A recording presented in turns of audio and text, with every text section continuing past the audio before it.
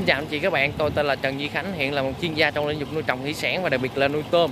Và hiện tại Khánh đang làm việc tại công ty trách nhiệm hạn US của trách khu vực Tân Phú Đông Tiền Giang. Và hôm nay là ngày tuyệt vời, Khánh có ghé thăm một anh khách hàng, anh tên là Ha.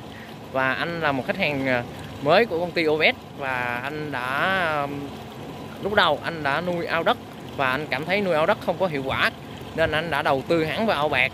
À, qua đây qua đây Khánh sẽ giới thiệu cho anh bạn toàn bộ khu nuôi của anh, cũng như là hệ thống dàn lọc nước của anh nha anh chị các bạn. Đây đây, anh chị các bạn thấy không? Đây đây là khu nuôi của anh.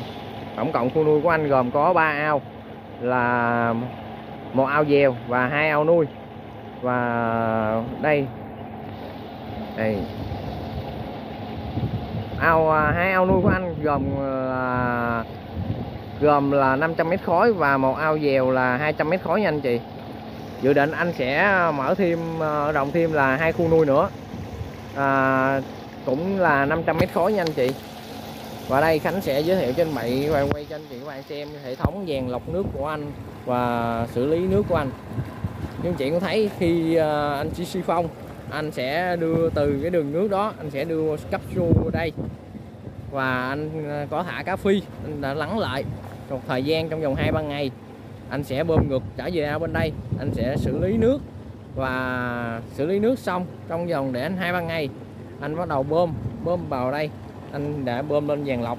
Anh đây chị ơi thấy không? Đây đây dàn lọc của anh. Đây đây lọc của anh. Và bơm anh bơm vô đây anh hệ thống lọc lại. Đây, nước là trong anh chị. Nước rất là đẹp nha anh chị. Xong xong anh bơm xuống đây xong trong vòng 2 đến 3 ngày anh lại tiếp tục bơm vào ao nuôi. Đây anh sẽ cấp vào ao nuôi nha anh chị. Đây là ao nuôi của anh. Ngay vào ao nuôi anh đang uh, đang chuẩn bị uh, để uh, chuẩn bị sen tôm ra nha anh chị. Dạ rồi.